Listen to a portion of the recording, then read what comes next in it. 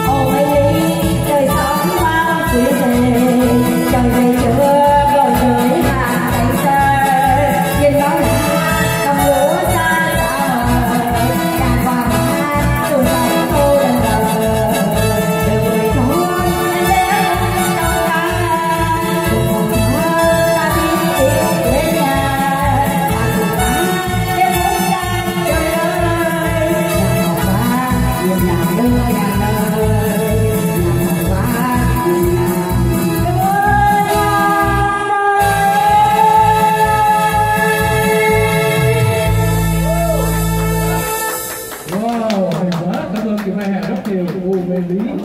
Ô Mê Lý, cảm ơn.